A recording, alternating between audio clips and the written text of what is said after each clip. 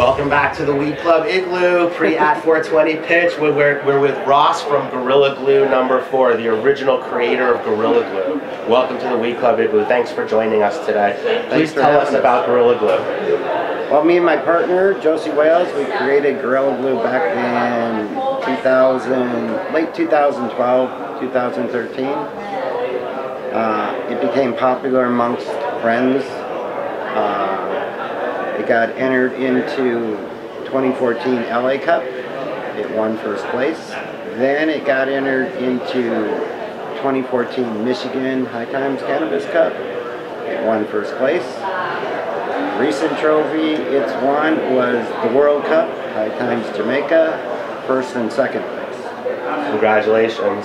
Uh, I mean, you see Gorilla Glue all over the place, but there's no way to know whether or not you're getting the real thing.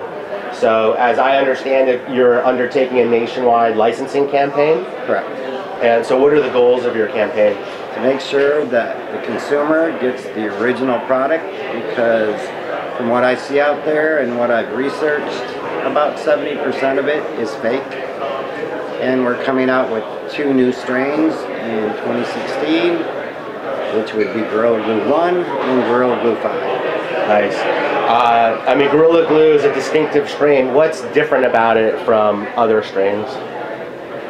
It's fast in veg, it flowers quickly, and it's a high yielding plant. It's a hybrid. And so, investors now coming along to join the Gorilla Glue team, they can become a part of this phenomenon as you guys control the release of the strain.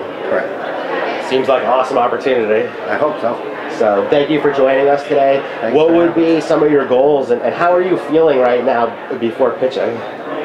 I'm fine. I do this every day. Um, it's all good. Any tips for our breeders out there? Grow Gorilla Glue.